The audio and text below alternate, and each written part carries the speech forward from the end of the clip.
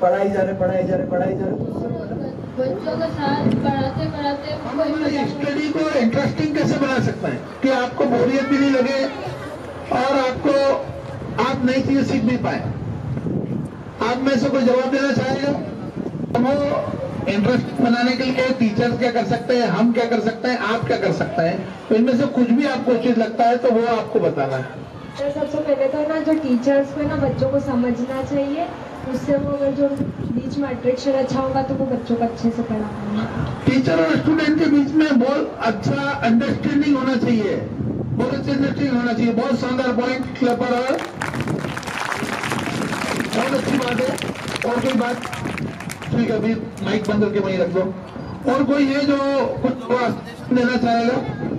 Very good अब पीयूष कुछ बोलेगा, देखो पीयूष क्या बोलता है। हाँ।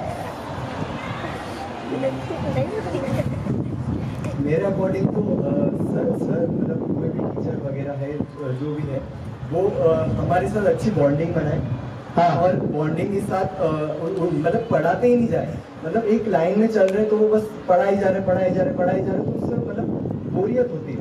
हम्म, चलो ठीक है। हमारा मन भी नहीं लगता उसमें। तो बोरियत के साथ साथ कुछ फन हो कुछ मज़ा हो उसके साथ पढ़ा जाए तो वो मेरे हिसाब से अच्छा चलो ठीक है।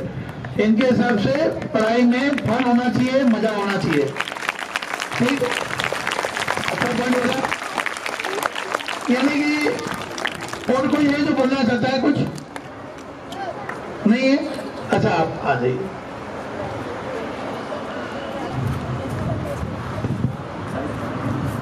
सर, जो मेरे हिसाब से है कि टीचर और बच्चों के साथ पढ़ाते पढ़ाते कोई मज़ाक मस्ती बोर भी नहीं होते और उससे पढ़ाई में इंटरेस्ट भी होता है। थैंक यू करना है नहीं करना है। करना है या नहीं करना है? करना है। मज़ाक मस्ती करना चाहिए। ओके वेरी गुड अच्छी बात है। करना चाहिए। हमारे उद्देश्य को हम भूलना नहीं चाहिए कि हमारा उद्देश्य क्या, लक्ष्य क्या है। और लक्ष्य को भूले बगैर यदि हम उसमें थोड़ा सेंस ऑफ़ ह्यूमर ला सकते हैं तो कोई बुराई नहीं है। ओके अब मुझे एक बात बताओ। आपने बोला कि टीचर की बॉन्डिंग होना चाहिए तो इसके लिए क्या सिर्फ़ टीचर जिम्मेदार है क्या? आप बोल रहे हैं कि दो लोगों की बॉन्डिंग होना चाहिए टीचर की और स्टूडेंट की अंडरस्टैंडिंग होना चाहिए। तो इसमें क्या सिर्फ़ सिर्फ़ सिर्फ़ और सिर्फ़ टीचर के चाहने से बॉन्डिंग हो जाएगी? सिर्फ़ और सिर्फ़ टीचर के चाहने से अंडरस्टैंडिंग हो जाएगी क्या? नहीं हो सकती ना? इसके लिए स्टूडेंट को भी तो इफर्ट्स करना पड़ेंगे। राइट और अब स्टूडेंट को इफर्ट्स करना पड़ेंगे। टीचर आपको अंडरस्टैंड करने की कोशिश कर रहा है लेकिन जो है आप मान लीजिए अंडरस्टैंड करने के वो, वो कोशिश ही नहीं कर रहे हैं। जब वो अपने क्लास में आ रहा है तो वो क्लास में उनको कभी मॉरल सपोर्ट ही नहीं मिल रहा। जैसे कि आपने कुछ अच्छा किया हमने आपके लिए क्लेप करवाई या हमने आपको प्लस प्लास्टिक का कार्ड दिया या हमने बोला क्या very good very good very good Piyush very good Hiramani very good Samson ने बोला। इट मीन्स हम आपके मॉरल को बूस्ट कर रहे हैं। इस तरीके से आपने आज तक टीचर का मॉरल बूस्ट करने के लिए क्या किया है?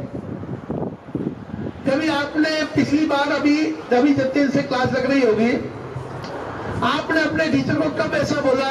कोई किसी किसी टीचर ने तो कुछ तो अच्छा पढ़ाया होगा। आपने से किसने बोला कि सर आपने अच्छा पढ़ाया?